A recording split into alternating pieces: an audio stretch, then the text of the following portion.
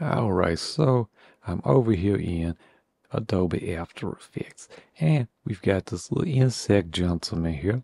He's on his own layer right there and the arms, see that we got one, two, three, four, each on the individual layer and just a, a background. But I just wanted to show we're going to say arm right top. That's this one. And look, it's just like that. And I got a little nub. It's a little nub. It's where they connect right there.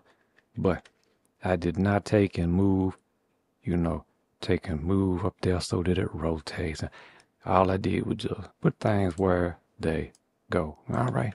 Going to select that one right there. Going to come here to, what's this? Puppet tool right there. Click it. Let me come in here just a little better. And let's stay just about right there. And just about right there. Just about right there. I'm going to press the letter U. That's U as in uncle. And then, let's see. I like to highlight. Let me move this so you can see. Move the playhead. See that right there? I hit U reveals that to me. U, that toggles there. And then I just highlight it. One, two, three.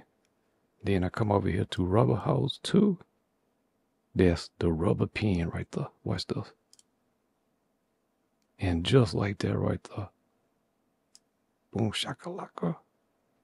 Now we got some refinements we typically will make like uh look though we're gonna have to uh let's see realism. Let's try to boy do that something.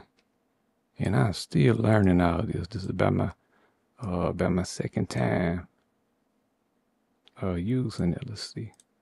Here we go. But I like how easy that was right there. And look at that. You can get, uh, I think that's a way to turn off if you don't want that elastic kind of effect. But uh, I have to look into how to do that. But yeah, that's how easy it is to wriggle in. Then, of course, you just do that one, that one, that one. And you might could do the legs separate and the antenna separate if you want it. But I'm going to keep it simple and just rig my arms. And then do me a main little rig up the body so he can maybe be inside to side and just parent everything together. Good to go. All right.